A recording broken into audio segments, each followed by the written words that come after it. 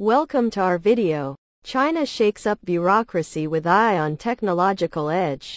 I would like to focus on the Newsweek report on March 22, 2023.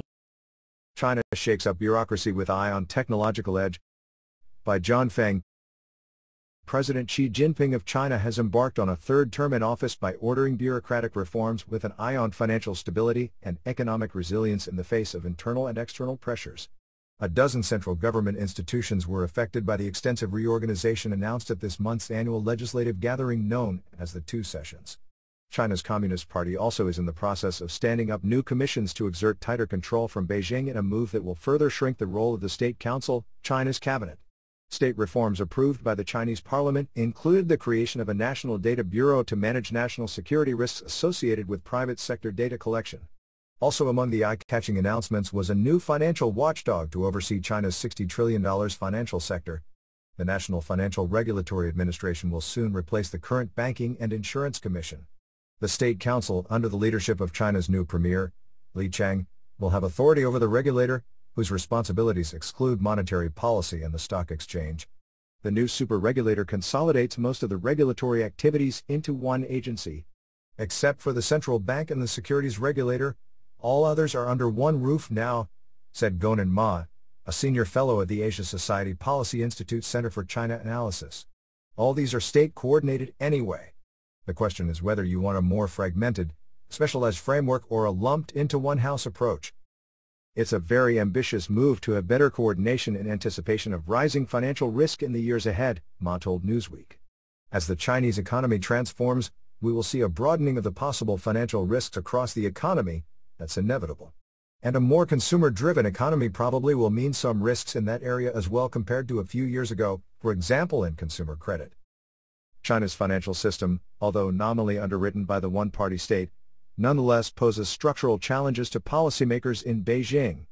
These include a crisis-hit housing sector as well as considerable fiscal burdens linked to astronomical public health expenditure at local government level throughout the pandemic, the Chinese government will relieve some of this budgetary pressure by slashing the civil service by 5%, according to the cabinet's plan, which also will divert excess personnel to other areas. The government may want to use this cut to contain the bureaucracy and reallocate resources to hire civil servants with new skills and for new tasks, said Ma who cited China's new data bureau as a possible area. Stem on Xi's mind. Xi hasn't been shy about his desire to see China become a leading player in the world science and technology arena. Last October, when he extended his rule over the Communist Party for a norm-breaking third term, he assembled a team of loyal technocrats who many believed would bring him closer to his goal. Throughout his decade in power, the Chinese leader has favored a statist approach to governance, one in which the party ultimately has the final say over the government's functions and affairs. This was evident this month in the party institution reform that followed closely behind the bureaucratic shakeup. China's new financial watchdog, for instance, will be overseen by the Central Financial Commission, which answers to the Communist Party Central Committee. Xi also has revived the Central Financial Work Commission after two decades in order to supervise the Chinese financial sector's ideological and political alignment with the country's long-ruling party. In addition, a revamped Science and Technology Ministry, geared toward achieving breakthroughs and self-reliance, will operate under the auspices of a newly established Central Science and Technology Commission. The organization was a response to severe international competition and external containment and suppression, said the cabinet. China's leaders in recent months have depicted an increasingly turbulent international environment in which its chief rival, the United States, is threatening to hobble Chinese innovation and by extension the country's long-term economic security. Western countries led by the United States have implemented all-round containment, encirclement and suppression of China, bringing unprecedented, severe challenges to our country's development, Xi told members of China's top political advisory body in early March, in a rare direct reference to Washington.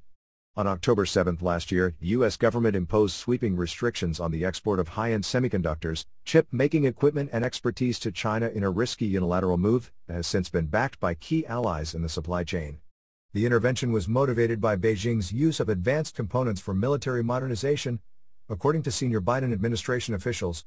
China's recently announced reforms may offer internal solutions to the U.S. industrial policy aimed at retaining Western primacy in emerging technologies, but a successful workaround is far from guaranteed especially in the near term. It's hard not to see this as partially a response to the Biden administration's moves to push back on China in terms of technology, especially with the semiconductor export controls. but I also see it as part of a more long-term trend. Xi Jinping has long made science and technology a very high priority, said Brian Hart, a fellow with the China Power Project at the Center for Strategic and International Studies.